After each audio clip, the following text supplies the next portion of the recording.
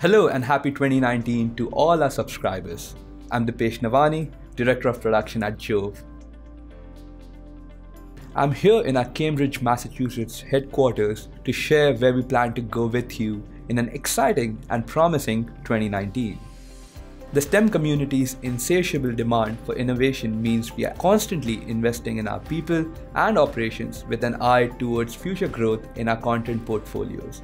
For instance, more than 50% of our video department payroll underwrites new product development and the expansion of existing products. This January, the journal editorial team set a new record by publishing an unprecedented 80 articles in a single day. There is so much journal content becoming available, sometimes researchers don't know all that we have to meet their various needs.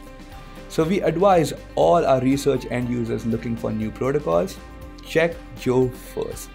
If you need guidance, please reach out to us.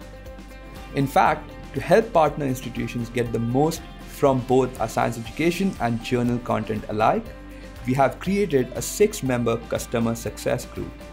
It focuses on showing teaching faculty members ways to embed science education content in their classes and improve student performance. It also demonstrates how to use the journal in education and core facilities. We are supporting our subscribers in other ways too. We also invest in the technology that ensures the rapid and secure delivery of our videos to you. That is why 75% of our information technology time and budget is slated for new product development. That way, we are actively improving our technical service capabilities for you. And to further support your classroom and teaching needs, we've got some exciting new products which will start arriving in the first quarter. We'll be offering JoVE Lab Bio.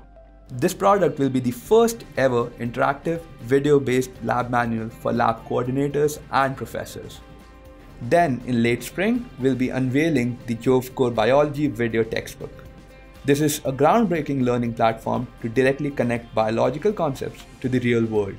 It will enable students to think critically and independently while boosting their confidence in the classroom. In the fall, we'll be expanding our science education series. Additions will include an aeronautics collection in the engineering series and several collections in the biological sciences such as immunology, cancer biology, and microbiology. These are just a few of JoVE's upcoming milestones and initiatives. We'll be sharing more updates to keep you current on our progress. In 2019, together, we'll change how science is done.